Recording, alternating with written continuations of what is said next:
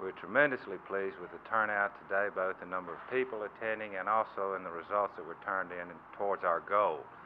We had turned in today over $887,000, which is 67% plus of our total goal. This is by far the highest report we've ever had at our first report meeting. And to give you some idea of what a significant amount of money that is, it represents uh, a sum in excess of what the total United Fund goal was in 1966, only five years ago. Well, surely there must be something different this year. Why this tremendous surge on this first meeting?